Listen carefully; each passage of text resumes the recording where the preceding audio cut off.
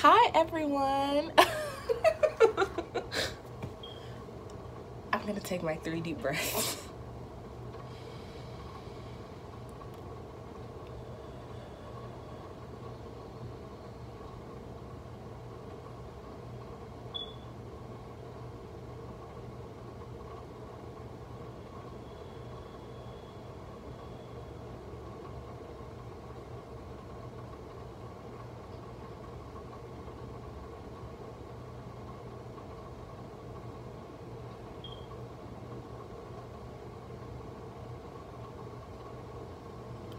Hi. I usually I'm trying to get into taking 3 deep breaths before I do anything just so that I can make sure I show up as my most genuine, loving self and I like interact and speak from a heart place and love. So I hope that you took those 3 breaths with me. Welcome to my channel. I have a I'm feeling energetic right now because over the past couple days I've been getting a couple followers. Hello, hello new subscribers. Thank you for subscribing. Welcome to my channel. Welcome to the community.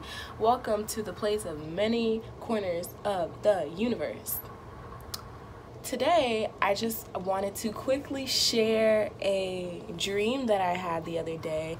My I was telling my mom about it and she was like, "You should tell people about this." And I was like, "Huh.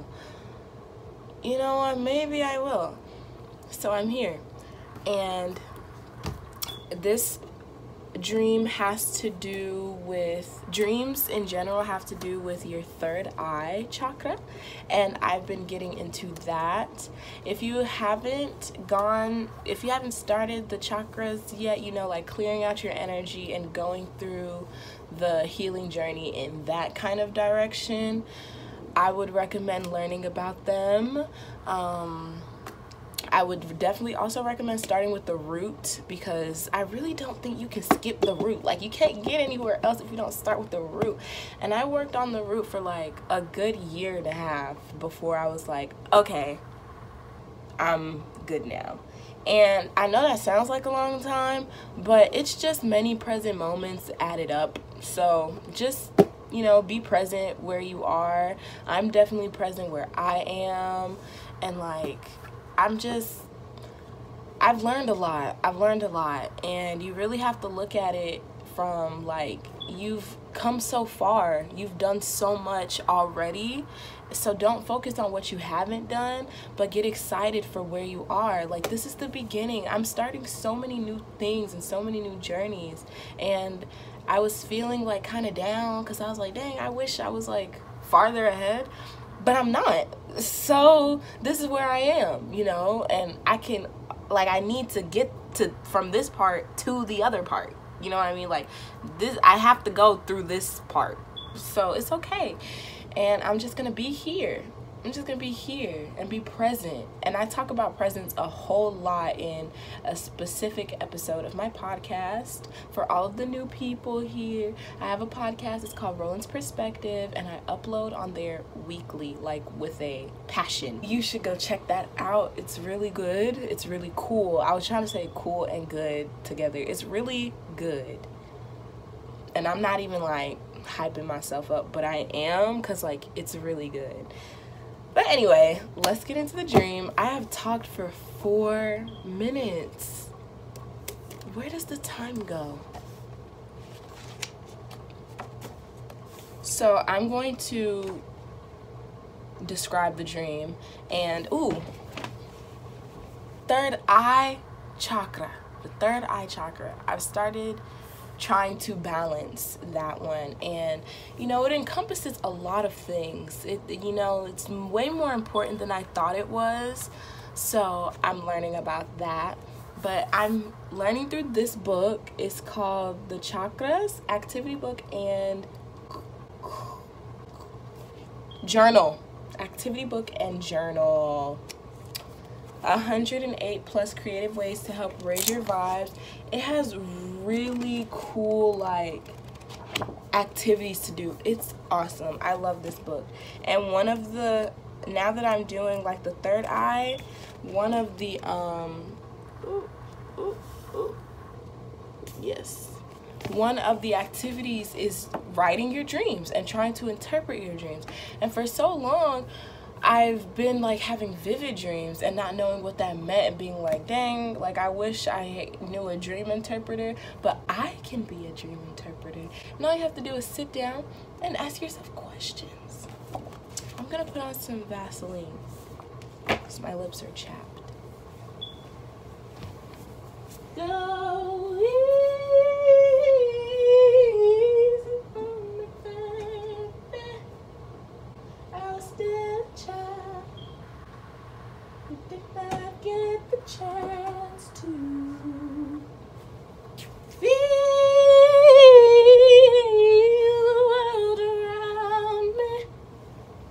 This isn't a cover video, but if it was, wow, I kind of don't know like how to create anymore because I feel like there are new people watching me, but like I should create how I was going to regardless. Like I don't know what I should include, what I shouldn't include. This is all very weird. But like use my video as like a stepping stone in your journey. So a quick rundown of the third eye. I'm gonna be reading from the book. The next leap in consciousness comes from our third eye chakra, which transports us beyond duality, me slash you, and into the awareness of a much less taxing super consciousness, all that is. The third eye has a vision that allows us to pierce life's confusing veils, you know, the whole time is a construct and money isn't real song and dance. It's also pretty funny. I like it's a it's a funny book. And gives us the power of, at minimum, a strong intuition, and at maximum, transcendent mystical revelation. It is the chakra of imagination, insight, and psychic abilities. And yes, we all have access to it, even if we grew up in small, closed minded towns. And then it talks about what happens when your third eye is right, what happens when your third eye is blocked, what happens when it's over overactive, key concept key concepts, intuition, psychic perception, dreams, imagination, foresight, vision, manifestation, awareness. And those are all things that I've been noticing in my experiences in life recently and like it's cool that it's all encompassed in this chakra that I've been like subconsciously avoiding forever, but like I'm here and I get it and I see it and we're on the right track.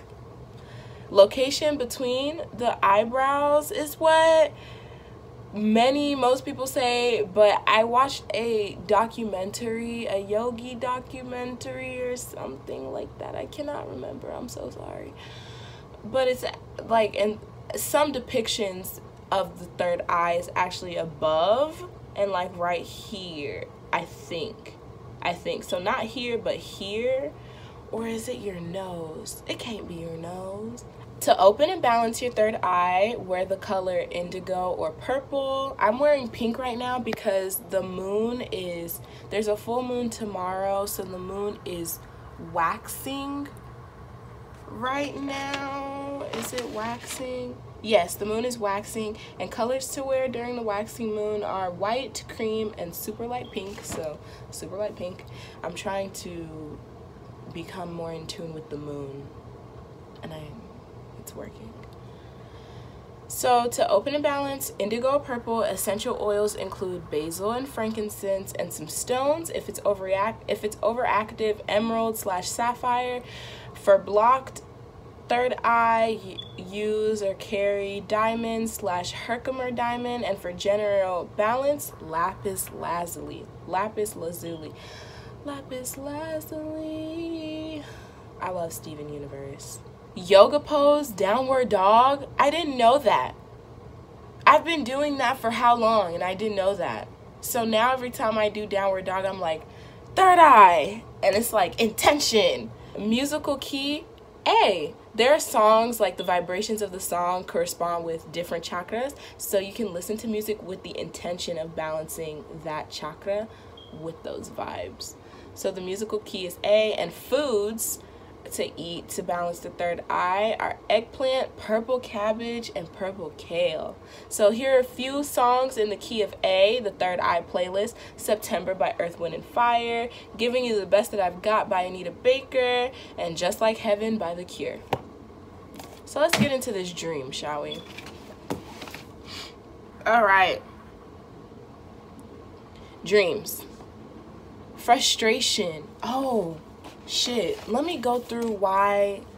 I'm so sorry. Let me go through why, like, the the structure of what I'm doing so that you can do it too. I'm so sorry. This is like a so not planned video. uh, dream journal. For the next few nights, keep a dream journal. Keep a pen and notebook by your bedside, and as soon as you wake up, even if it's for a middle of the night toilet adventure, jot down a few notes or keywords about the dreams you just had. In the morning, flesh the notes out into a paragraph or two. Circle any emotional words and note them here, along with the people, places, activities, objects those emotions were associated with. Now play Dream Wizard. What do you suppose those people slash objects slash etc. were symbolizing? What advice can you take away from this seemingly nonsensical dream? And here's how an entry might look emotion, frustration, Associated elements a late train, which might symbolize feeling stuck and not getting anywhere, a broken phone, which might symbolize a communication breakdown, a person blocking my way and not letting me pass, which might symbolize feeling unheard, unimportant, and feeling stuck again. And then you write the takeaway, I'm feeling stuck right now and like I'm not in control of my own progress. I want to express myself, but deep down I feel that either I won't be listened to or that it's going to be impossible to get through to the other person. Or maybe my subconscious just wants a new phone. LOL. so that's the breakdown of the exercise. You do emotion, associated elements, blank, which might symbolize blank, and then the takeaway. So that's what I kind of did let me get in close so it's a little more intimate, you know? Okay, dreams, frustration, things not working out. This thing, thing just not for me. I was hanging out with my friend who was in a whole TV show and was told about a pool party. I wanted to go on a walk. She came over and I wanted to go on a walk, but I was already cutting it close, especially factoring factoring in drive time. Was I feeling anger? It was frustration, resentment, resistment in my body. I don't know what it is, but it's okay. You're supposed to be here to. What? Oh, I was telling my emotions it's okay and they're supposed to be here too. I'm reading straight from my journal entry. I just feel, I'll just feel you, my emotions, and carry on and That'll be all. No need to resist and make things worse. The dream. 30 minutes till the party started, so, and we didn't take the walk because I was like, dang, I don't want my friend to be upset about, like, being late to this party. Like, so I'm gonna do what, and I didn't even talk to her about it. I just assumed that she'd be mad. So I was like, okay, let's just go to the party. And we had already woken up and I talked to my family members and that took some time away from us waking up and then like just going on the walk. So we were pushing it close, 30 minutes to drive to this party may have symbolized not doing things my way for me. Because we were supposed to take the walk earlier but then i started talking to my siblings and just doing home stuff and time sort of got away.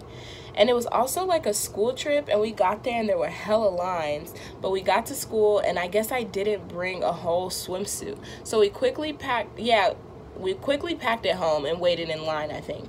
And i forgot something and went through some protected hallways um, I don't know why it was like that, but I went into a classroom where my older teacher was there, and I was like, "Can I get something from my locker slash bin?" And she was like, "Oh, those were cleaned out like weeks, days ago. Like, there's nothing in there."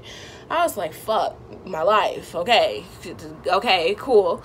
Nothing is going my way." So I went back to the bus, and there were niggas on the bus already, and I was one of the people that was like at the end of the line, and my friend was already on the bus, and I paid my $20 because it cost $20 to go on the trip. So I paid my $20, and I don't know why I didn't get on the bus, but I instead got in a car with some girls I barely knew.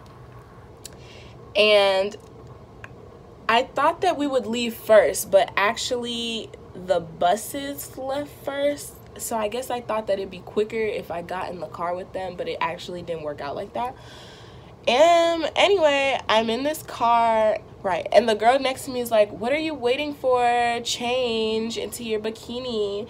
And I realized I had the top of my bikini and not the bottom of my bikini. So I'm like, Dang, maybe I could wear shorts. Maybe I could ask my friend if she has extra bottoms when we get to the pool party. But now I'm like, kind of like annoyed that things are going like this. So we get there and I'm being impatient and I'm not satisfied with what is.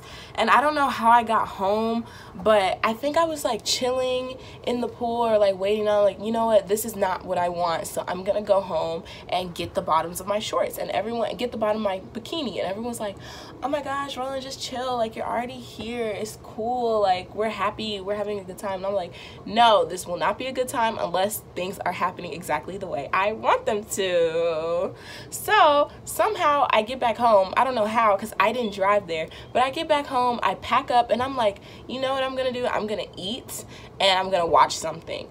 I fall asleep and I wake up an hour later and the party supposedly started at 2. When I woke up from my nap, it was four o'clock. It was four o'clock. So the party had been going on for a little while and now there's traffic. So 30 minutes has turned into like 45, 50 minutes. So by the time I get there, it's five o'clock and like people are, but then I'm like, and then I'm, I start struggling and I'm like, dang, should I even go or should I stay home? I should have just stayed at the party, but maybe it'll be fine because, you know, when it's nighttime, pool places turn on the lights and everything's glitz and glam and fun. So let me just go to the party.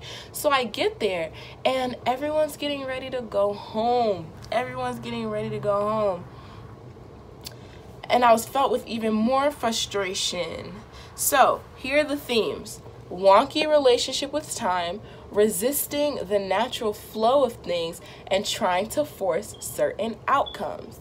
I could have had a good time and not wasted my $20 had I stayed the first time. My friend had a great time and she told me people didn't even start showing up till later. So we totally could have gone on our walk, okay? Listen, listen to this. The takeaway I am always on time, but have been struggling with trusting divine timing and letting things unfold as they do. I've been resisting and trying to force a certain outcome. I need to let go and be more accepting of how things go so that I can be on the path the universe knows is best for me.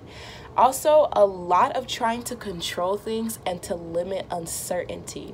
But I have now realized that uncertainty is the only reality. Uncertainty is my reality. And allowing myself to just exist in that and really, I'm really learning what it means to go with the flow for real. And that means things may not go your way sometime and being like, things happen for a reason, everything happens for my highest good.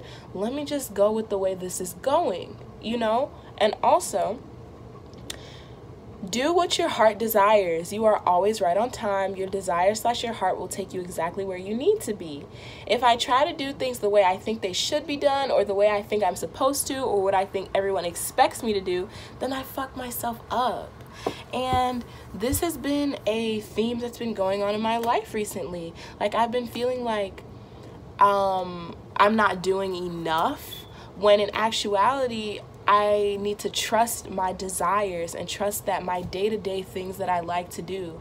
Like when I wake up and part of me is like, I want to look up this video today or read this book today. One thing will lead to another. And truth be told, like, I always end up finding something that I was supposed to find. And that takes me on a tangent, on a whole new adventure, like on a whole new, like, I don't know, I don't know, like, a, like a it, advances the path that I'm on to get to where I want to be. So basically, do what you want. Do what you want and trust that your wants will take you where you need to go. Trust that your heart desires, the little inklings in your heart, the little whispers of your heart when you're like, oh, you know, today I want to do a little yoga or something. Or you know what, today I want to watch this video or this movie. Like, be okay with that. I, and I think that I was really beating myself up for not doing more, I guess. I don't know. I don't know. I don't know. But it's the way that doing those little things that I want takes me into researching some new thing and finding this new opportunity or finding this new hobby or something that I like about myself. Basically, the path unfolds as I do what I want. And it's okay to do what I want instead of what I think I have to do. So that is my point. Trust divine timing. Take that walk. You're always on time. Do what your heart desires. You are always on time. I am a Capricorn rising. I am a Saturnian. Saturn rules time restriction. Time and karma. Time is literally on my side always. time is always on my side. And I'm always like resisting the flow of things and thinking like trying to get into other people's head about how they're per perceiving me if I don't do things a certain way. When it's like, first of all, ask, speak, speak up, say something. And two, you're always on time, Rolande. Like the party didn't even start when you thought it was, when you thought it would start. So if you took the walk, you would have been fine. Like your desires know what they're doing. Your desires are there for a reason. You're fine. Do what you want you will literally be okay. That will literally lead you where you need to go, where you want to go, where you need to be. And trust that your plan is not always the best plan for you.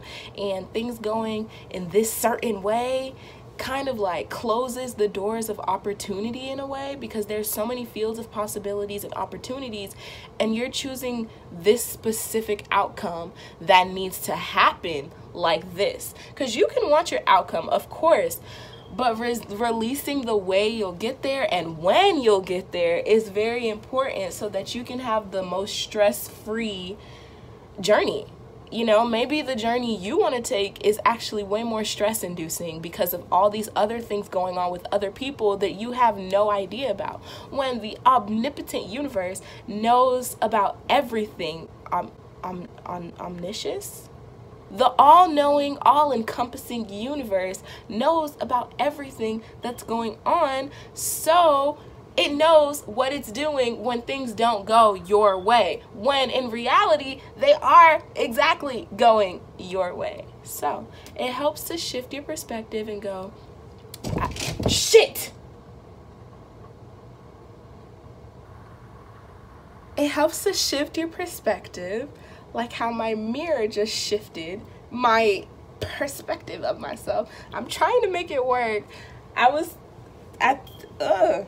I was like touching the mirror and it like it, was leaning i'm sure you saw it happen i don't have to explain my point is it helps to shift your perspective and and go from oh why is this happening to me or bad things always happening to me or um what's another one what's another one i don't know and then going to shifting to faith and going like everything is working out for my highest good.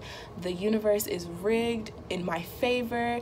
The universe is conspiring on my behalf. That's my favorite one because it really brings to light how there's so much that we don't know about, so much happening for us in the background. People meeting certain people, or people telling this about this, and it coming back to us the universe knows what it's doing. We only have our own point of view, and the universe has my point of view and everyone else's point of view. So I'm gonna let the energy do what it's gonna do for me, and I'm going to allow myself. I haven't been allowing myself to just be and to just be like, present and allowing myself to be happy now because I, fe- I felt like I wasn't doing enough, but I am doing enough. And I trust myself. I trust that I'm doing enough. I trust that my desires and inklings come at the perfect time and I get a thought or I get a desire to do something like this that leads me to this. And I'm guided all the time. And I could do nothing all day, and that's okay. I still did enough. Like, I'm just trusting that I'm taking a very slow paced way to my desires, which is like the fastest pace for me.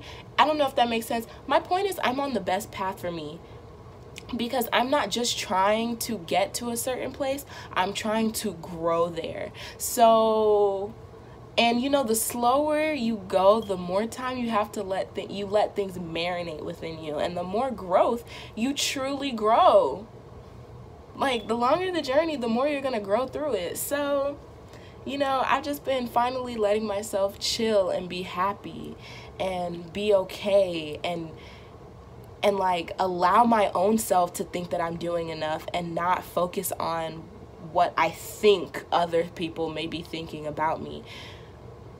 Like, I've been blocking my own happiness. Ain't that some shit? Like, it's not even anybody coming up to me telling me, oh, you're not doing enough, you're not doing this. My mom is so supportive of me, and I haven't been receiving that. I've been blocking it out because I didn't feel like I deserved it for such a long time. And I'm now letting myself chill. I'm letting myself laugh. I'm letting myself enjoy my time off from school at home and being grateful and present and taking my time. I've been rushing myself because I feel like I need to produce something because I've been out of school. But I've been, I've grown so much and my mental health, y'all. No, I'm living life. I am living the motherfucking life right now and there's just so much more to come. And i'm on the right path. And like i'm chilling. And i'm supported. And i'm guided. And everything's good. Even when everything's not good everything's still good. I'm always on the right path. Everything happens for my highest good. And sometimes i don't see it like that. And that's okay. Because the truth of the matter is it's all happening for my highest good. And i'll see it soon. Oh I hope you enjoyed this video. Nice to see all of the new people joining the universe. Hello. I'm very grateful for each and every single one of you universes and points of view coming into my space and enjoying the videos that I'm putting here. And it's really awesome because it's like I'm going to look back on these videos and be like, oh my gosh, Rolande, look how young you were. Look at how you were growing. And I'll see myself from a different perspective. And it's just really cool and interesting to have other people on this journey. I hope you take pieces of this video and apply them to your own journey and I hope you also grow. Let's grow together. Thank you and I will see you in the next video and hear you in the next episode of my podcast. Bye.